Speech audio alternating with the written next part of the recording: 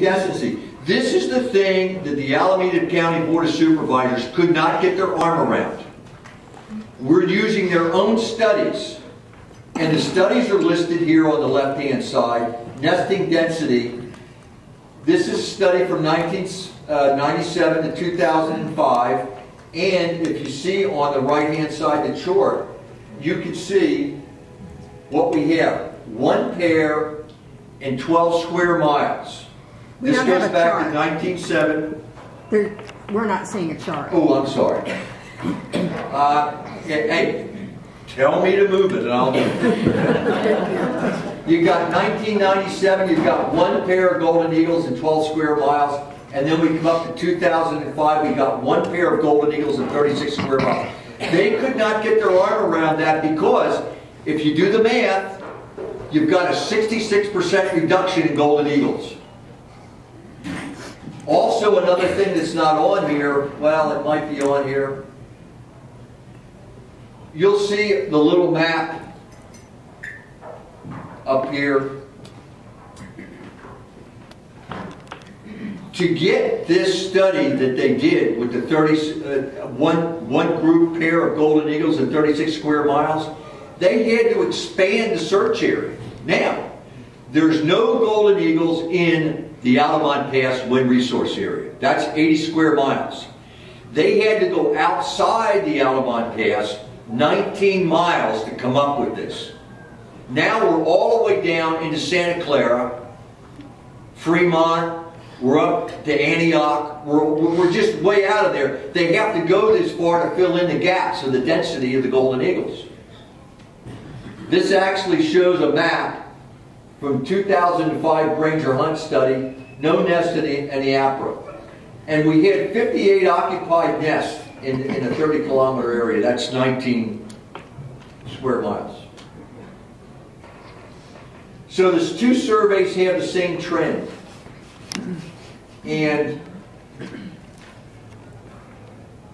when they hire these biologists, they have to go back and they have to they have to fact check all this information and they have to structure it so it all fits together. What they're really good at is taking numbers and skewing them. And the way they skew the numbers is they keep moving the baselines around so nothing is equal. It's like you're driving 50 miles and you're getting 40 miles to the gallon with your uh, Volkswagen Jetta diesel. So then they put in a Mack truck in that same scenario that gets 5 miles to the gallon and they call it the same baseline. The actual Yugo now is a is a Volkswagen and, and it, you know they're changing things around to try to make people think that they're saving by changing their windmills, they're now they're not killing as many birds, but what they did, they moved the area out so that they could get more area to count the birds in there. called lying. Sure, it's called lying. Now, the thing that you want to th- look about is, I hope you got the same slide I do. It takes 167 breeding pairs of golden eagle to replace on the small side what's being killed in Altamont. That's 50 golden eagles on the downside. We think it's more like 75 or 80 because we have eagles flying into the Altamont from as far away as Alaska and Canada. They come here because this is the world's largest golden eagle breeding ground. They come here because, number one, we have a great population of squirrels. I mean, they're all over the place and that's what they feed on. Now, what are they trying to do? They have proposals. Putting a fence around the wind turbine to keep the cows out so only the rodents are there, which I can't figure that out. They don't want to use any poison to kill the rodents. That's, that's built into the, the uh, Environmental. environmental impact report. Let's, if you want to do something really good, let's kill all the damn rodents and maybe the eagles won't come here as many, but they're going to come here because they like to socialize. So if you had 50 pairs, or if you had 167 pairs required, that would replace the 50 turbine fatalities that they know is existing. But how many actual pairs do we have? In the 36 square miles per each pair, the best they can come up with 58 pairs. Is that the truth? Well, that's what they're telling us. But you have to realize, they started with 12, 12 miles out, or 13 miles out from the APRA, which is the Altamont Pass Wind Resource Area. Then they didn't have enough birds in that area, population-wise, so they had to go out another, to come, come up with 18 to 19 miles. And if you take the whole area around there, which at the end of this you'll see the slide, and you can see just how big this is. It's huge, the area that they're coming up with, just to try to maintain the population.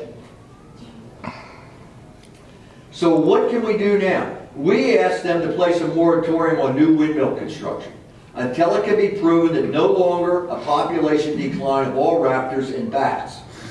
I haven't gotten into the bats with you, but you're going to get a bad education. I know you think these are cruddy little creatures, but they're not.